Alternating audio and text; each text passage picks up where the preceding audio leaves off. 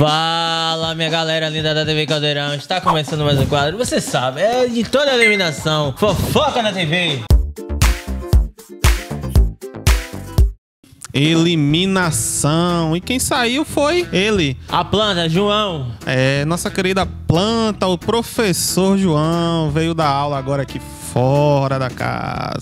E antes de mais nada, se inscreve no nosso canal do YouTube, ativa as notificações, deixe seu comentário o que você achou da eliminação de João. Ele não fez muita coisa, ele ficou ali como planta, mas poucos momentos ele brilhou ali, como na vez que Verdade. ele teve a discussão ali com o Rodolfo, que mesmo assim, tipo, eu concordei com ele, mas muita gente discordou, achou que ele agiu demais, né? Que foi algo muito excessivo, que ele podia ter sido mais é, chamado ele no canto e falado, em vez de falar pra todo mundo. Então muita gente também pode ter votado nele por conta disso, né? E porque o povo foi de fora João e não fora Arthur, Arthur tá fazendo? Arthur, acho que você, inclusive, que torce para Arthur, né? Você aí tá- deve estar feliz com isso aí. Ele tá Ó, conseguindo se redimir, né? Então, Faz de pessoal, conta que aqui é um pano. Passei o pano pra. é, você passa pano pra ele, então e você tá, tá feliz aí porque ele tá conseguindo realmente se redimir. Ele tá mais atencioso com os colegas, É verdade. tá melhor e aí. Não só sou eu, Caio, mas o Brasil está gostando desse ar.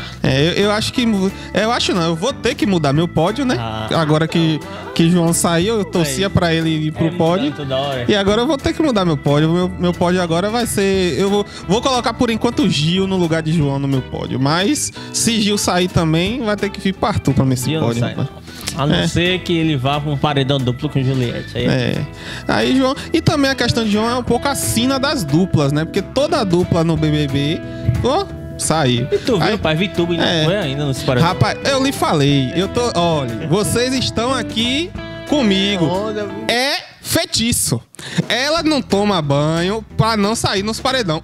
Gil tava já com ela na cabeça pra botar no paredão. Quando pensa que não, de última hora, ele desiste e muda de opinião. É o feitiço de não tomar banho. É, Pra ela não ir no paredão.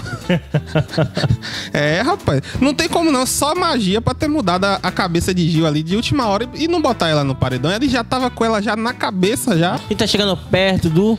É, do esse- Brasil. Aí, nosso fofoca na TV com a reta final do A BBB. reta final, Juju Juliette. É, Juliette na Será cabeça. que ela vai mesmo, rapaz? Rapaz, ó, o povo eu- tá gostando tanto de Arthur. será Rapaz, vir? de puxar pano pra Arthur, rapaz. A Olha- cabeça olha, é ó, Juliette. O jogo só acaba Quando o juiz termina. apita, quando termina. Eu sei disso, mas. Arthur vai virar o jogo. Rapaz, largue de. Ah. Não, não, não agora minha, minha favorita, não, rapaz. Você imaginaria que Arthur ia chegar até agora? Porque o povo tava assim, ó, gente, o que é que Carla vem em Arthur? Gente, o que Carla vem em Ó, Arthur? foi- a, a, Arthur, e agora o povo é, tá foi vendo uma, que Carla via. Foi uma mistura de sorte. Ela não via nada, não. ela viu quando ela saiu. Tanto é que ela já disse que não volta pra ele, não. Tu acha? Oxi. Ô, Caio, volta. Ah, rapaz. Ali, a mistura ali foi um pouco de sorte. E aí, quando ele viu agora que tá na reta final, ele aí tá tentando se redimir Se ele ali. quiser. Mas pra mim é volta. jogo. Pra mim é jogo. Se ele querer, ela volta. ah, Caio! É isso aí, galera. Se inscreve no nosso canal do YouTube, ative as notificações.